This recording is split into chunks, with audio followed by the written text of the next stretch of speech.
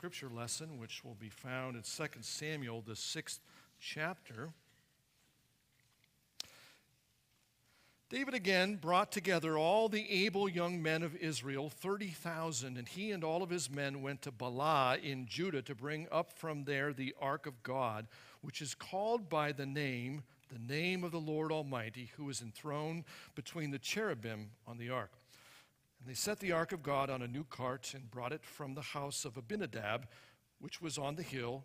Uzzah and, and Ahio, sons of Abinadab, were guiding the new cart with the ark of God on it. And Ahio was walking in front of it, and David and all Israel were celebrating with all of their might before the Lord with castanets, harps, lyres, timbrels, sistrums, and cymbals.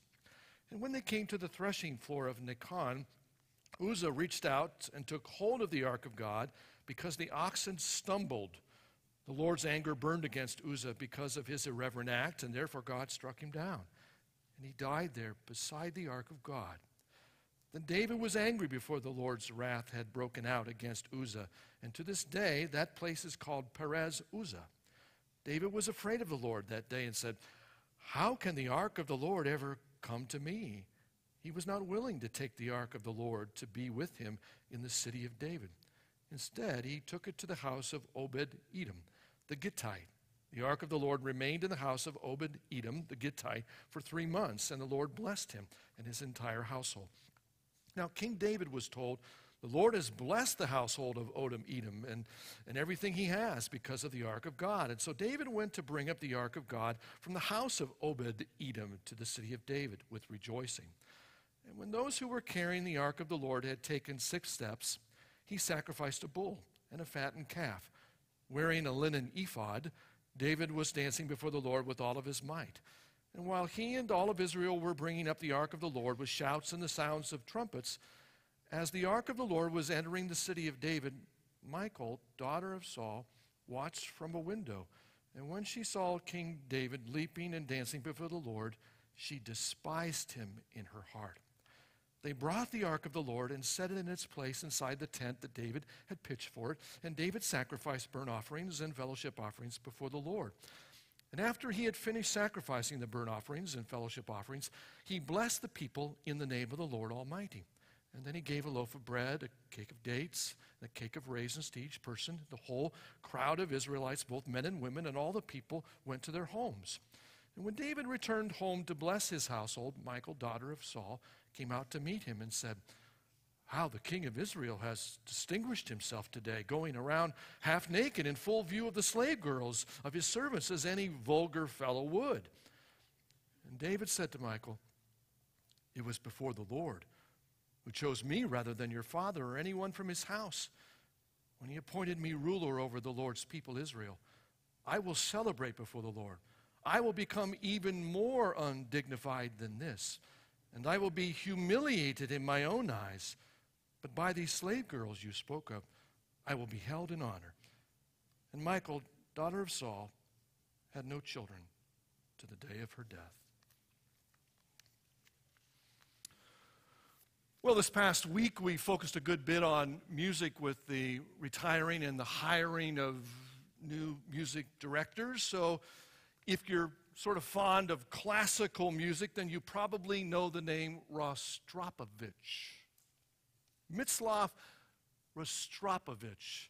He was a world renowned cellist until his death in 07, and it seems that since his exile from Russia back in 1974 that he lived here in the US where he served for 17 years as the music director of the National Symphony Orchestra in Washington, D.C. He was always something of a nonconformist. So in 1970, what does he do? Rostropovich, he shelters Nobel Prize winning Russian author Alexander Solzhenitsyn, who, after being expelled from Russia for his rather dissonant political views, had nowhere else to go. Or how about in the early 90s when the Kremlin hardliners, if you recall, launched a coup there in Russia? So Rostropovich at the time was in Paris. But instead of flying back to the U.S. and to safety, what does he do? He flies straight to Moscow, a place that he had been exiled from. And there, once again, what does he do? He takes his place in the Russian Federation building, the same building that President Boris Yeltsin at the time and his elected officials were all holed up in. The situation, it was rather tense. In fact, in the darkened corridors, someone even gave Rostropovich an automatic weapon. He returned it, though, and it said that instead he took out his cello and he gave an impromptu recital there to break the tension of the siege. Folks, have you ever known someone who surprised you uh, by doing the opposite of what you expected? Someone who, who ran into the fire instead of away from it. From the outside looking in, you'd swear that they somehow had this backwards internal compass running south when instead they, they should have run north. But what they really had was sort of this uncommon courage, this moral inner trajectory that, that often seemed to lead them down the road less traveled. For instance, on this 4th of July weekend when we pause, when we reflect on the birth of our nation's freedom over 240 years ago, I don't think we can help but be awed by the courage, by, by the determination of our founding fathers and mothers and how they secured our independence. Over the last year, you know, I've been watching this historical TV series on the AMC channel. It's called Turn. It's about this period in history, and as a, as a viewer, you kind of get this inside peek of what the lives of those who were battling for freedom back then must have looked like. I mean, think of the risks that some of them must have taken because they believed in freedom. Yeah, they, they, they, they would have just played it safe, you know, if they just would have kept the status quo, if they, they just wouldn't have rocked the boat. Would you and I be here today worshiping as we are so freely? If it were not for the, the bravery of these folks who risked everything and, and somehow ran towards danger, rather than away from it so that we might enjoy the liberties that we celebrate this weekend. Well, last week in our own ongoing journey through the story, we met a guy named Saul. And Saul is a man's man. He's tall and he's handsome. He was a likely choice for a king. He was Israel's perfect choice for a king. But as we discovered, he was not God's idea of a king. You see, Saul cut corners. And, and then, sort of pathologically, he, he, he would rationalize this. Yeah, he was almost totally committed to God, and yet he kept back a, a little corner of his life for himself so that he could control it. He withheld his allegiance to God, thinking it wouldn't matter. But it does, doesn't it? Yeah, almost never works with God. And here's why because God knows that you and I, we can never experience the fullest blessing that He has for us if we hold back even a little from Him. You know, I have to confess that I'm not much of a gambler, but I do occasionally, when I'm flipping through the channels, like to settle on an ESPN poker tournament. I don't really have much of a clue as to, to what's going on, except that there's a lot of money at stake. And those guys have to be pretty good, you know, at being able to bluff their opponents. But there is one thing that I do get. And that's when one of those players, they, they, they go all in and they shove their entire pile of chips to the center of the table. I mean, I'm thinking with hundreds of thousands of dollars at stake that the guy must be crazy. Somehow his internal compass must be off. He's running towards danger and not away from it. Come on, buddy, play it safe. It's too much to risk. But I guess when it comes to big stakes poker, it's win big or go home. And folks, with poker, all in, that can be a big risk. You know, it's something that you decide is worth taking that risk. But with God, taking such a risk isn't really a risk after all. It's that transaction that God promises us that if we are willing in faith to take it, He will give us life itself. Yeah. Love me with all of your heart, with all of your soul, with all of your mind, and with all of your strength. But unlike poker, where we can lose money, failure to go all in with God, as we discovered last week, has some devastating consequences. Let's think about King Saul. He refused to go all in and what did it cost him? It, cost him his throne. So God, as the dealer, cuts him out of the deal, and instead he sets his sights on a boy who's just out there singing in the fields, taking care of his daddy's sheep. And, folks, what is it that God looks for when he gazes into our hearts? You know what? I think he looks for someone who has his heart, who has his priorities, someone who is willing to give their total allegiance to him. So this royal coronation begins. And it happens in the most improbable of places. It happens in the humble abode of the grandson of a guy that we met a few chapters ago in the story. You might recall his name, Boaz. Remember, he was the guy who married Ruth the Moabitess there in Bethlehem. And they had a boy, and his name was Obed, who became the father of who? Jesse. So God sends the prophet who we met last week, Samuel, to the home there in Bethlehem of Jesse. And by this point of the story, maybe we should not be surprised anymore. I mean, God had already demonstrated this knack he shows up in the unlikeliest of places. He, he calls the most implausible of people to the most inconceivable of, of missions.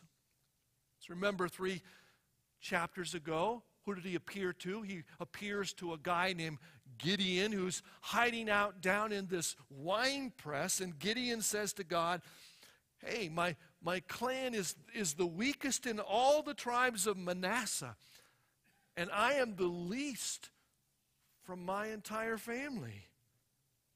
And then last week, uh, once again, he, he appears to Saul, who, even though he's tall and, and, and handsome, he too, where, where is he? He's hiding out in the supply shed.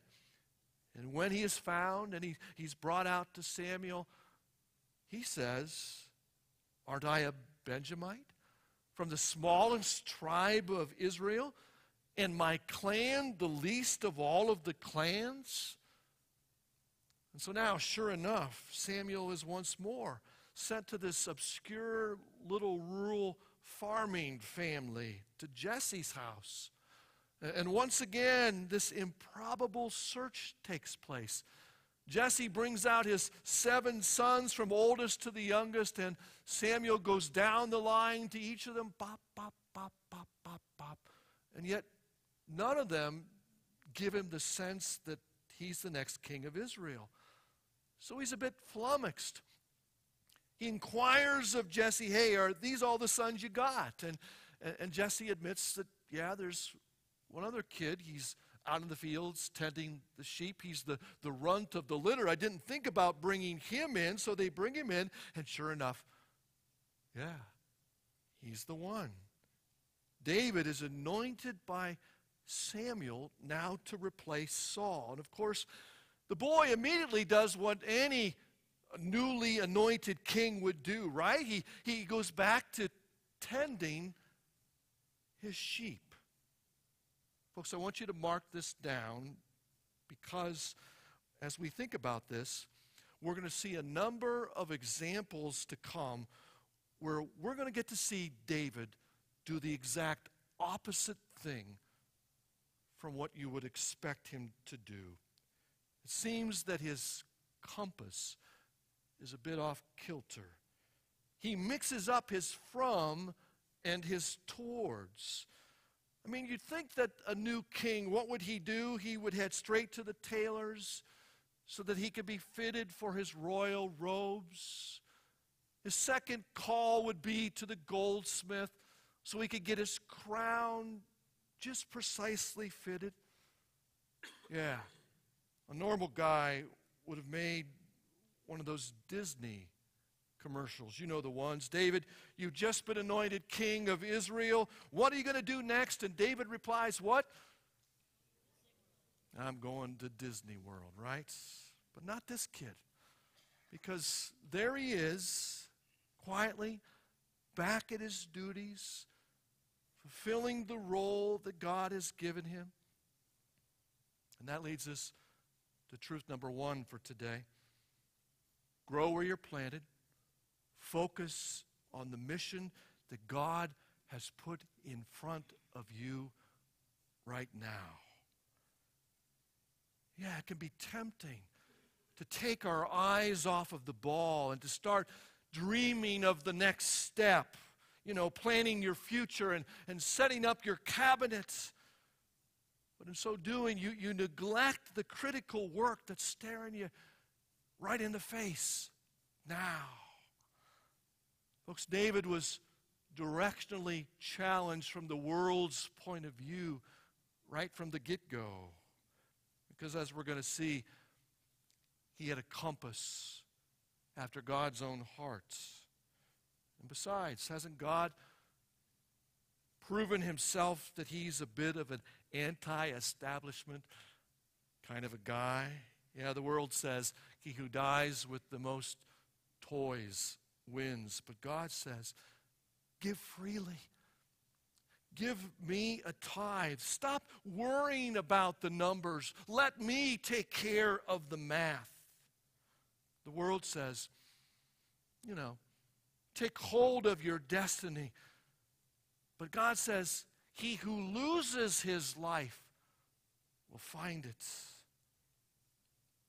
Friends, example number one of David's from towards compass problem is that he headed not towards immediate glory and recognition, but towards his current assignments. Folks, that's our first lesson from today's story. Never take your eyes off the ball. Grow where you're planted. Focused first on your current assignment. You know, someone once said that the most radical thing that you could do is the very next thing of what God tells you to do. And it may not seem like it at first, but this is what radical obedience looks like in our lives. It's not doing what God says because you can clearly see the end, because you can see the end of the parade route out there somewhere. It's doing the next thing He tells you to do. And, folks, in, in practical terms, that means go do your job. Be a good husband, guys, or a grandma, ladies, or a neighbor, or, or a worker yeah, set your compass toward what God has put in front of you right now. That's what young David did. Sure, after his, his big anointing ceremony, things got a, got a bit quiet for a while. But eventually, this call came to him head towards the battlefield. The Israelites were fighting the Philistines, so David was to take some supplies to his older brothers. And when he arrives, he sees what everyone else doesn't. Again, here's a boy with a mixed up compass because he sees an opportunity for God's power to be displayed. You see, the Philistines, they had what we might call a ringer. They had a secret weapon. Let's say you're in a recreational basketball league where everyone is about the same size and about the same ability except for one team. They go out and they recruit this former college basketball star who's six inches taller than anybody else on your team. This guy's a ringer. And the Philistines, they have one. You know him. He's in the form of a nine foot tall behemoth of a guy whose name is Goliath. So he stands out there, Goliath, taunting, intimidating Israel day after day. And yet, for the second time, David's from towards indicator seems to be on the fritz. What does he do? He runs towards the giant. Literally, he shoves all of his chips to the center of the table, and with no armor or shield or sword or spear, with just five smooth stones and a little slingshot, he faces Andre the giant on steroids. You know, there's a great missionary by the name of C.T. Studd. And he once said, You know, some people, they want to live within the sound of chapel bells. But I want to run a rescue shop a yard from the gate of hell. Yeah, David, just like C.T. Studd's compass must have been off kilter. Was on the fritz. It was broken. He didn't run, want to run from the battle. He wanted to run towards the battle. Which brings up our second truth for today. Never let fear be your compass heading. Folks, how was David able to accomplish this improbable thing of killing a giant with a little slingshot. Well, he had two things going for him, and they were faith and practice. Yeah, for years, God had been preparing this young man to face Goliath because we learned that on multiple occasions that David, as he was out tending his flock, he was attacked by wild animals. Animals like bears, and lions, and risking his own life. He fought off these wild beasts with nothing more than his staff and his sling. Folks, that's the kind of king that I think God was looking for. Because if David was willing to go to such lengths to take care of his animals, then just think how far he was willing to go to take care of God's flock, Israel. And that's why when, when Goliath stood out there threatening to, to squash him like a bug, that David was able to proclaim, You come against me with sword and spear and javelin, but I come against you in the name of the Lord Almighty. Talk about going all in. David doesn't mostly trust God. To him, it's a no brainer. He knows that the battle belongs to the Lord. I mean, who in their, who in their right mind would run towards a giant? Only a guy from the world's eyes whose compass is somehow off kilter. But let me ask you how about your compass today? Are you running from or are you running towards the battle in your giving, in your living and in your serving. Like David, has God been preparing you for something greater? A bigger Goliath sized mission in your life? Is it time for you to take the plunge? Well, friends, after killing Goliath, David's days in the fields were over. Saul brings him into his court. He assigns him a high rank in his military operations, and David is well liked. He's successful in all of his pursuits. The Lord is with him, and so eventually he marries Saul's daughter, Michal, and he becomes best buds with Saul's son, Jonathan. And yet, because of his success, it would begin to plant this irreversible seed of jealousy in Saul. And all the people around, they were whispering, you know, Saul killed his thousands, but David has killed his ten thousands. So Saul eventually becomes more and more jealous, and, and to such an extent that he even tries to, to murder David several times. Let's take one occasion when David and his men, they're hiding out in the back of this cave, and who should walk in to take a nap but Saul? And so David's men, they, they sort of whisper to David, you know, this is his chance now to, to get his revenge. Go up and, and, and, and take the dude out. So, so what does David do? Well, he, he, he creeps forward, but, but rather than kill Saul, he cuts off a piece of his robe.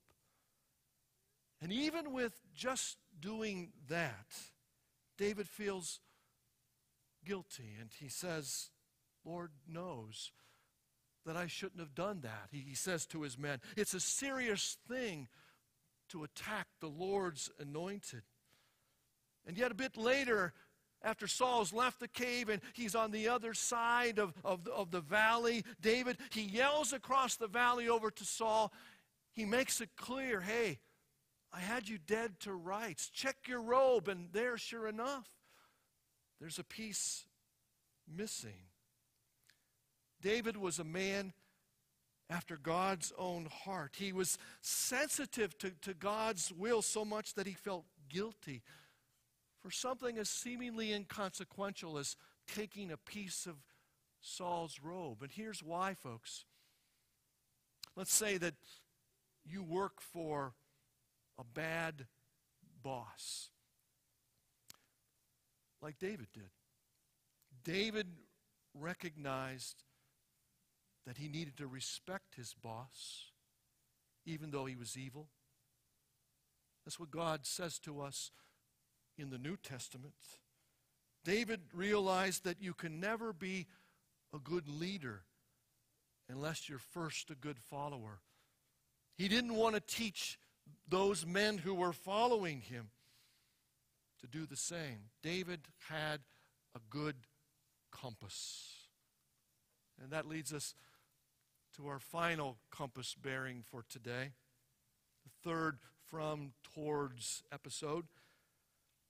David always seems to be running towards God. You know, as we read through the Psalms, we see how David has jotted down his faith and his fears. We get the passion of his relationship. He shares his innermost feelings. When he felt optionless, when he felt exasperated and unheard and, and confused. How about you? Like David, is your first response to run away or to run toward God? To flee or to worship? Let's take the example from our lesson for today in 2 Samuel. David now, as the king of Israel, he's conquered Jerusalem, he's made it his capital city. You remember that golden box that we've been talking about throughout the story, that one with the amazing, impossible power? Well, now it's time to bring the Ark of the Covenants into David's royal city to provide for God a more permanent dwelling. And it's a seminal moment. It's a time for celebration. And David, being the kind of man he is, he recognizes this fact. This is not a time to, to give this sort of reserved golf clap, you know, kind of response to God. This is a time, folks, to go all in. And so, as the ark is, is brought into the city, no less than the king of all Israel, he's dancing with abandon before the ark of the Lord. And as he does so, he's doing it with little else than his whitey tidies on. And let's listen to what we, we read in the story. As the ark of the Lord was entering the city of David, Michal, daughter of Saul, watched from the window, and when she saw King David leaping and dancing before the Lord, she despised him in her heart. So, you know, David, he, he returns later home to his wife, and she says to him, My, how the king of Israel has distinguished himself today, going around half naked as any vulgar fellow would. And David responds, He says, it was before the Lord who chose me rather than your father that I was celebrating. In fact, I will become even more undignified than this. I will become humiliated in my own eyes. Folks, how about your compass bearing these days? It's a good question. When we think about our lives, which direction is your compass pointed? When it came time for someone to stand up before a giant, David didn't say, you know, let somebody else do it. He stepped up. When it came time to be a man of integrity before his men, yeah, he, he stepped up. And when it came time to worship the Lord with abandon, he didn't care what other people thought. Do you? He was a man after God's own heart. He was going to worship and serve the Lord with all of his might. So, how about you today? Which direction is your compass pointing? Is it pointing toward God or is it pointing away from Him in your serving, in your giving, and in your living? Let's bow as we pray. Father God, set us free from a need to somehow worry about what other people think when it comes to our worship and serving of you.